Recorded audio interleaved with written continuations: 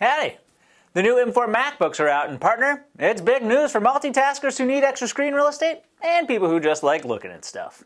For the first time since Apple Silicon chips debuted, the base model CPU now supports two extended displays over Thunderbolt without needing to close the lid, as was the case with the M3.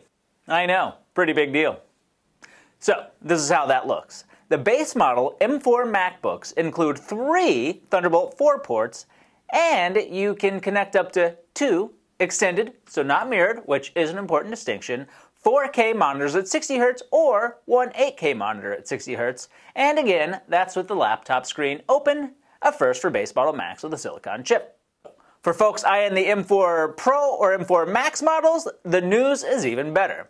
Thunderbolt 5 support is now baked right in, and not only does this future-proof your investment, but it is also fully backward compatible with Thunderbolt 4, USB 4, and USB-C products. Now, let's take a look at the best docking station to take advantage of that M4 performance. If you're going to buy a laptop with Thunderbolt, then partner, you're going to want a Thunderbolt dock to go with it. And if you're looking at Thunderbolt docks, you should really be looking at the Plugable TBT4 UD5. Here's one now. So, what makes this dock so great? Well, I'm glad you asked, champ. Well, for starters, this dock is Thunderbolt certified, so you know even without opening the Quick Start guide that you're getting the full Thunderbolt experience. Because let's face it, you aren't actually going to open that Quick Start guide anyway.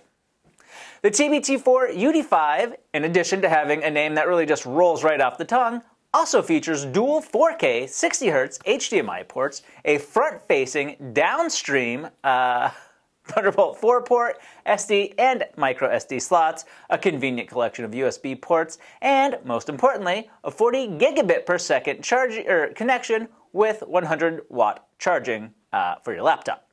And it's all connected back to your fancy new MacBook with a single 3 foot 40 gigabit per second Thunderbolt certified cable. The TBT4 UD5 is plug and play and easy to set up. Plus, it's going to look real sharp on your desk. And if you're looking for a similar performance for a few bucks less, take a look at the Plugable TBT4 UDX1. And if you're looking for something else entirely, well, we've done a whole mess of compatibility testing on docks, hubs, and accessories for the, import, for the M4 Max. Pop into the video description down below uh, to learn more. And as always, if you have questions on connections, comments on anything else, let us know down below.